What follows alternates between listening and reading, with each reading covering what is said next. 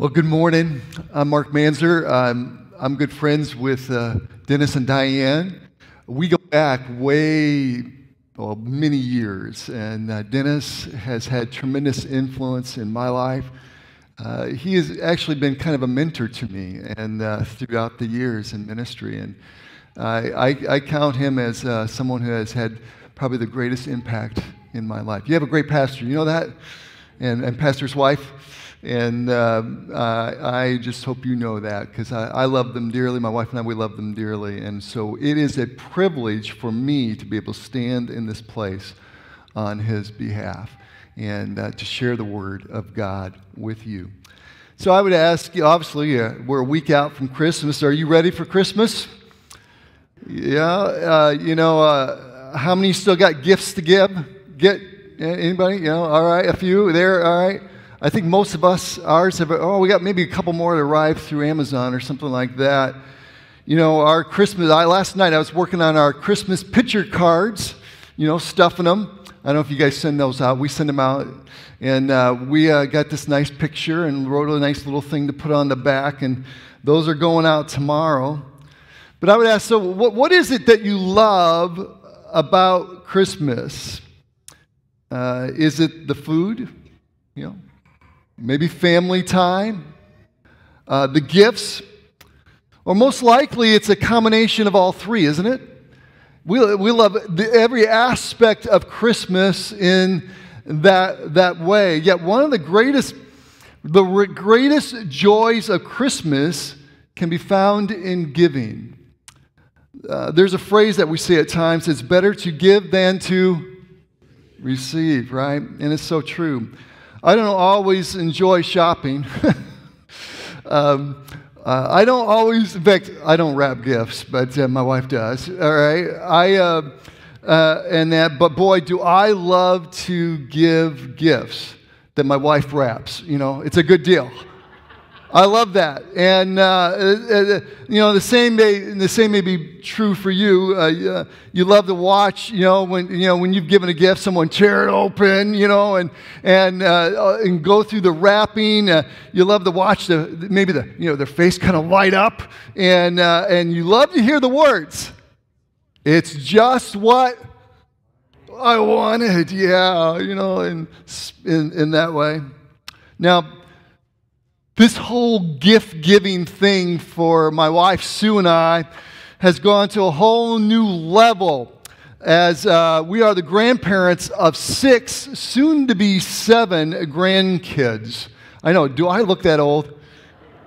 No way. It's impossible. I got, a, I got a mid January, I got my seventh grandchild coming. You see, when we uh, give a gift to one of our grandchildren, uh, we get a double benefit um, because when you show this kind of love uh, to a grandchild, uh, we in the process love their parents, right? You don't have to get their parents a gift anymore. it's a good deal, and so you well maybe not, but uh, you know they still seem to want, want those gifts. But but uh, when we you know show love to their kids, our grandkids, we love the parents, and so there's this double benefit. Last weekend, uh, my son Nick and his wife Lauren, my daughter in law, and our two year old granddaughter Autumn came over to visit us for the weekend. And, uh, and we, we love it. I tell you, we love it when our kids bring their kids to our house. There's nothing better. Anybody, can you relate? Right? You, uh, you know? And since we're not going to see them till uh, well, after Christmas, we thought, well, let's wrap up Autumn's gifts and uh, we'll have her open them while we're here, you know, while they're here, you know, with us and, and, uh, and for the weekend. And it was great. It was just like, yes, yes, you know, I just, I love giving gifts, you know, to my grandkids. And, um, and one of the gifts we got her was a stroller a little baby stroller. She brought her baby. She strapped that baby. Of course, she opened that baby. Dad, her dad had to put it together. I love watching that. He, he's putting together and putting the wheels on, and, and you know, and then I'm just watching this, taking this all in, and and uh, and then we went strolling throughout the whole house. You know, in my house, you go from living room to kitchen to hallway to dining room, and you just go in this big circle. And so we're just we're strolling, getting dizzy, and, and it was, well, it was a great time. You know, what's, what's the best? And my uh, font didn't work completely. That should say the greatest gift there. But what, what's the best Christmas gift you have received? Think about that. What is the best Christmas gift you received? I remember getting a red Stingray bike. Yes, with a banana seat. What you don't know about when I got this bike, though, it was a hand-me-down. My parents didn't have a lot of money when I was growing up, and so my, there was actually a bike my brothers had, uh, had been riding for some years, but Dad, he thought, well, Mark, he needs a Stingray bike, a red one, and a new banana seat on there, and so he painted it all nice and red, and, and I got that Stingray bike, and boy, I tell you, it was a gift of freedom um, I could now roam the neighborhood and, uh, and with such great freedom. I was just off and going with my brothers. You know, learning to ride a bicycle and having a bike, it changed my life. It did. It changed my life. Gave me a whole new perspective. Have you ever received a, a gift that has changed your life. Or a gift that, well, that inspired you and, well, changed your future. You ever received a gift like that? You know, there's this actor guy named, his name Nicolas Cage, and I, I heard this story. Hopefully, I, I don't know, maybe you need to, re- I tried to research it a little bit, but it's, a, it's supposed to be a true story about Nicolas Cage. And uh, he was a, when he was a young boy, his father gave him a little Pinocchio doll for Christmas. And being a boy, he was a little rough with it. And he broke its head off. You ever have that? Give a gift and the kid breaks the head off. You're like, oh man, you know? And, uh, and that, so his father, well, he suggested that they bury Pinocchio in the backyard. The next morning, on the very place where he had buried Pinocchio was a large wooden sculpture of Pinocchio. Now, there's a dad, right? right? And so the next day after that, he went about burying his matchbox cars, his toy planes, a castle, his G.I. Joe doll, hoping it would all, you know, transform into something bigger, you know? I don't think it did. But to this day, Nicolas Cage says that that little Pinocchio gift was the best gift he had received because it gave him the gift of imagination, hope, and inspiration. And these continued to help him throughout his, his life and his career as an actor. And so I'd ask you, what about you? What about you? Are, are there gifts, all right, that have influenced your life? And, and are there gifts that have changed your life? I, I remember another gift I got from my older brother. He gave uh, to me when he was a college student. This is some over 40 years ago. Hard to believe. I still remember it to this day. And I opened the gift and it was a copy of the NIV Bible. Now, this was major, the NIV Bible, okay, was just, I believe, coming out, in the new translation. And he gave me, my older brother gave me a Bible, but it was a copy of the NIV Bible. I got that Bible that I could read and understand. And you know what? It changed my life. And even more so because my big brother gave it to me. I read that thing, I wore that Bible out because of the example and the gift that my brother gave to me. It was impactful. Here's the thing you know, the, trans, the, the, the tradition of giving gifts, it, it's great because it reminds us of the Christmas gift that, of Jesus that God gave. God, you know, He's the first Christmas giver.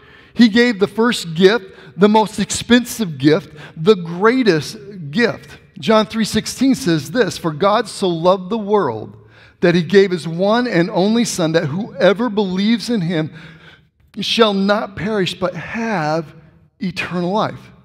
That verse there we've quoted it over and over again, but it's such a powerful verse. And it reminds us, really, as we come back here to Christmas. See, it's easy, it's easy to hear the Christmas story and think, boy, that's a wonderful story. However, the Christmas story is far more than just a story about something that happened in the past. The Christmas story is about the truth changing your life. It's about a gift that becomes a turning point in your and my life if we will just simply receive it and open it up and live it out. See, when we come to truly open this gift of, of, of Jesus Christ at Christmas, Him giving Himself to us, it is then that we begin to understand what God is announcing to the world through the angels, to the shepherds. What happened that so many years ago. Here's a gift that will change your life, that will change your eternity. You see, the gift of Jesus changes our future, it changes our eternity. And as a result, it impacts your life today. The gift of Jesus that we celebrate at Christmas is really um, just the first part of understanding this great gift of God. See, God, God uh, gave His Son at Christmas so that He would live this perfect life that we cannot live, and then pay the debt of our sin that we cannot pay, that one day he, he would go to the cross and he would die to pay that debt. See, it's part of the bigger story of why Jesus came, that advent, that first time that he would come, live that perfect life, and then pay that price, the price of our sin that we cannot pay. And see, when he went to the cross, he went there to so that we might experience the forgiveness of our sins and be given eternal life. Wow. Think about that. Just think about that. Talk about the greatest gift you can receive. It's the gift of forgiveness of our sins. And that's why Jesus came, that first advent. John, uh, Titus 3 says this But when the kindness and love of God, our Savior, appeared, he saved us not because of righteous things we have done, nothing that we have done, but because of His mercy. He saved us through the washing of rebirth and the renewal by the Holy Spirit. Otherwise, when we come, we are made new. We are born again. And then by His Spirit, we are renewed. See, Jesus didn't come into the world for us because we deserved him, or because we were friends with him, or because we are part of his family. You know, many of the gifts you're going to give this coming week uh, at Christmas, well, it's to repay people a little bit, right? All right. Or there's, or, or, or it's because we feel like, well, hey, you know, they deserve it, or, or, or expected. They're part of the family, right? You got to get your grandkids something, right? We give them, that's really kind of the, the motivation. It's an expression of, of love. But see, that's not why God gives us the gift of Jesus. You know why it is? It's because we need Jesus. We need him. Each of us here has a major problem. Without Jesus, we have no hope and we have no future. But here's the truth that makes the gift of Jesus so great. None of us deserve the gift of Jesus. We don't. I stand here not deserving anything that God has done in my life. but only grateful that He has worked in my life. See, as God tells us in Romans 3, we all fail to meet the standard of his righteousness. The, the Apostle Paul writes in Romans chapter 3, as the scripture says, no one is righteous, not even one. No one truly is truly wise. No one is seeking God. We all fail to meet God's standard of righteousness, yet God, in His mercy and generosity, willingly gives us this gift of Jesus. Without the gift of Jesus, we would have no hope of a future with God. A future that the Bible says is a place where nothing will perish, spoil, or fade. A future that the Bible says is a place where there will be no tears and no pain. Boy, that sounds good to me, right? Uh, uh, you know, there, there's no way we can have such a future, that kind of future in eternity in heaven without Jesus. And here at Christmas, we find the introduction to the greatest gift. God gives the gift of His Son to us freely without us needing to earn it.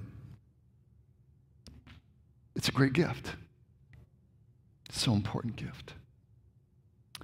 But what's also important to understand in the gift of Jesus is that, is that it's to be experienced and lived out today, to be known today to be walked out in our life today. When we trust Jesus to be our Savior, that gift changes our life today.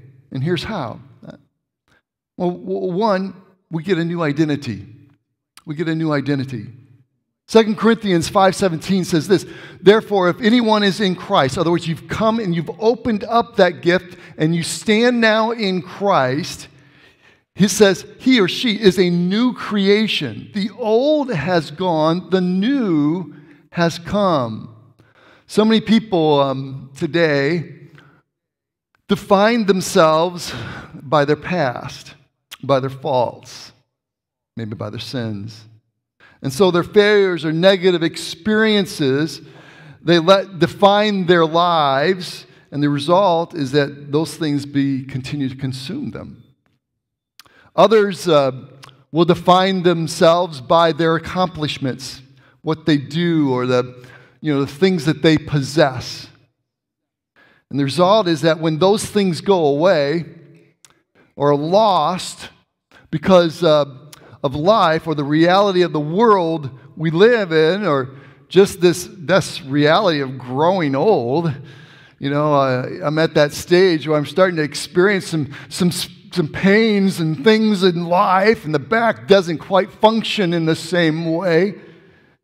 And that reality, if I, if I put my identity in those things and things, and, and maybe even in my physical body, all right, um, when we grow old, they'll disappoint. Disappointment can consume your life. And here's the thing you never you never want to base your identity on something you can lose. How many times have you been given a gift and a year later you don't remember it? It's lost, it's gone. But with Jesus, that's not the case. The gift of Jesus, that's not the case. With the gift of Jesus, you are a new creation. You are a child of God, something that cannot be taken away. You are accepted. You are forgiven. You have eternal value, and you are loved. And God wants to use you if you've opened the greatest gift that a person can receive. When we trust Jesus Christ to be our Savior, this, I tell you, this gift, it changes our life. Not only in the future, but it changes our life today. There's a second thing, though, that we get in this gift of Jesus Christ, and that is that we get a new power. Are you tired? Anybody weary a little bit? Has life life worn us down a little bit?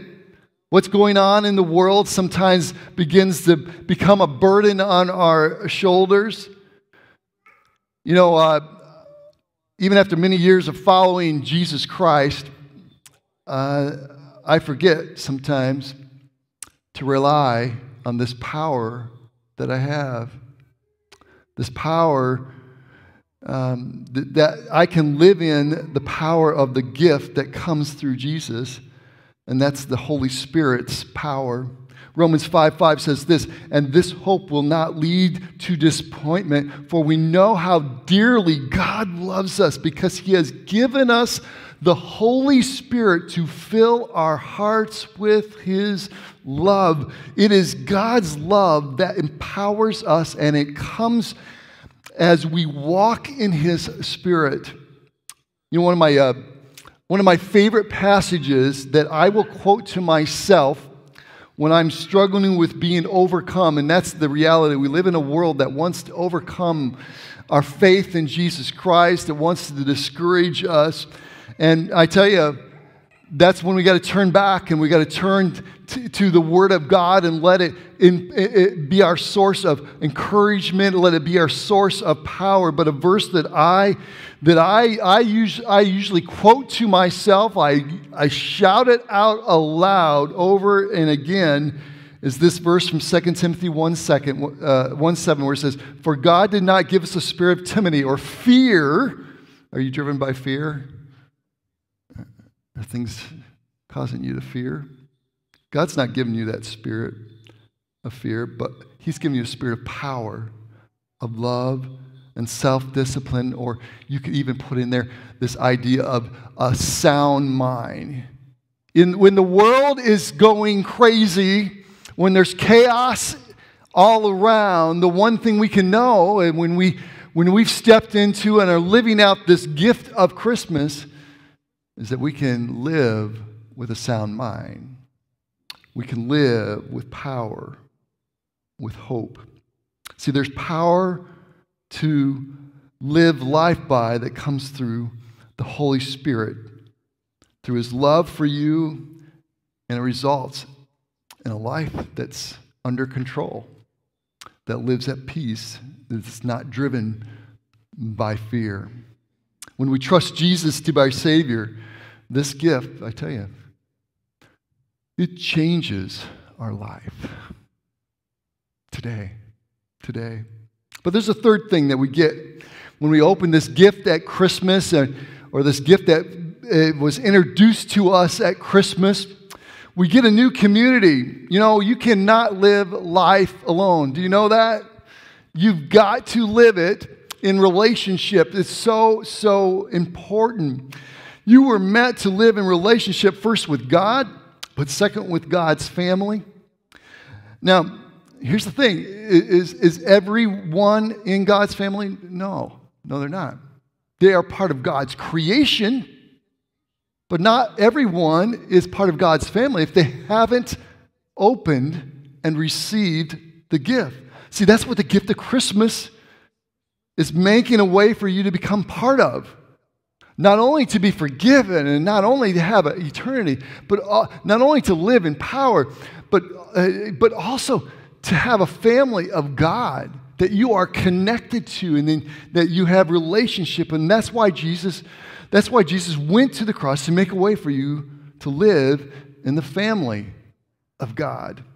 Paul writes in Ephesians, he speaks of this family relationships when he says, for he chose us in him before the creation of the world to be holy and blameless. And there's how he wants to develop us and grow us in this relationship that we step into when we open the gift of Christmas. But then he goes on there in verse 5 In love, he predestined us to be what? Adopted as his sons or daughters. That's family. That's family through Jesus Christ in accordance with his pleasure and will. See, God created this family right here to be a support and foundation to you living life and, and knowing the fullness of this gift of Jesus that we celebrate here at Christmas. So many people, and I think as a result of these past few years, this has probably been the, the greatest uh, damage, if I could use that word, to the church. Is the loss of community, is the loss of family that we have they don't realize the necessity of being a part of the church family, of gathering together and praying together and growing together and, and, living life together. See, without the church family, you have no support for living out faith in Jesus Christ. It, it's vital, it's key, it's, it's part of the gift that we open when we step into relationship with Jesus. So when we trust in Jesus to be our Savior, this gift, my, I tell you, it changes our life today. But there's a last thing I would leave with you, and that is this. I'm reminded that we get a new eternity. Romans 6:23 says this, for the wages of sin, that's the debt. There's a debt all of us have that's got to be paid that wages of sin is death, and that's eternal separation from God because we're born into sin. But then it says this the gift. Again, this is part of this greatest gift that we begin to open and I'll come to understand at Christmas.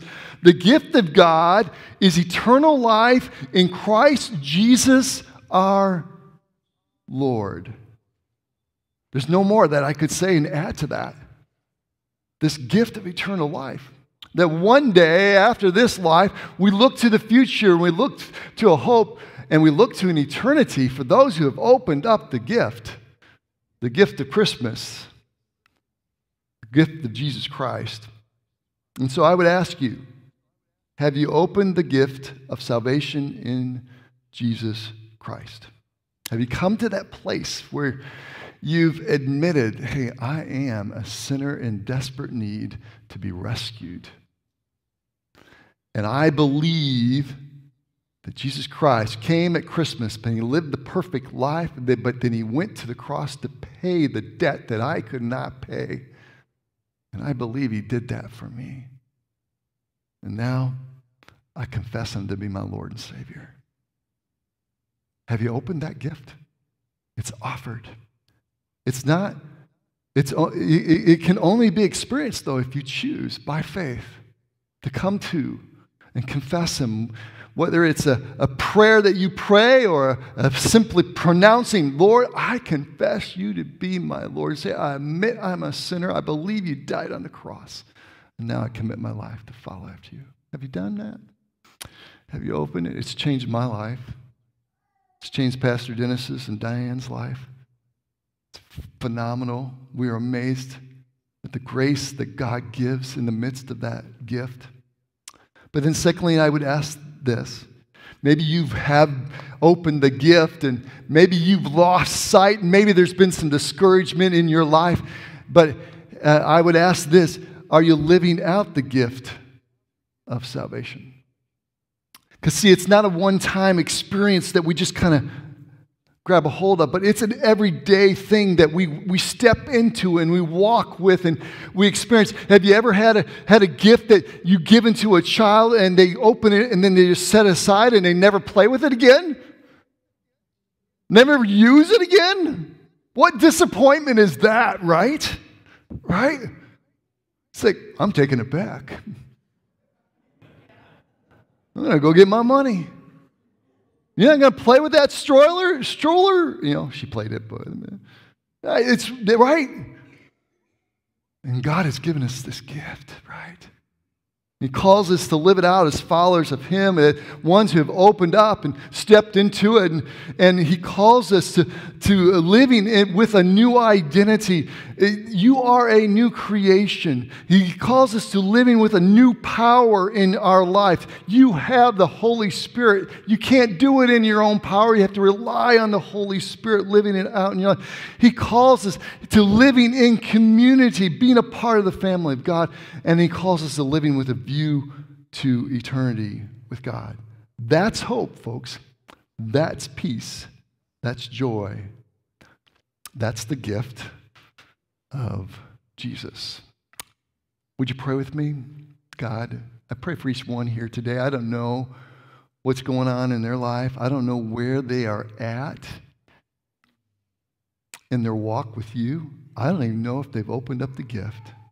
But I know that your truth goes forth, and I know, Lord, that the Holy Spirit is present in this place, and He speaks, you will speak to each heart. And I pray that you would do that in this moment, this time of reflection that we have. I commit each one here to you. May you encourage them in their life. May they find the joy of the Savior, the joy of the gift of Jesus in a fuller way in this, this week ahead, but especially in this year ahead, we pray. In thy name, amen. Worship team's going to come and lead us in a final song. Amen. Thank you so much, Pastor Mark.